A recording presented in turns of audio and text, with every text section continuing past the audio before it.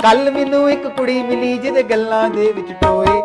ਮੋਏ ਮੋਏ ਮੋਏ ਮੋਏ ਮੋਏ ਮੋਏ ਮੋਏ ਮੋਏ ਐਨੀ ਮੁਸ਼ਕੋ ਮਾਰਦੀ ਸੀ, ਉਹਦੇ ਨਾਲ ਨਾ ਕੋਈ ਖਲੋਏ। ਮੋਏ ਮੋਏ ਮੋਏ ਮੋਏ ਮੋਏ ਮੋਏ ਮੋਏ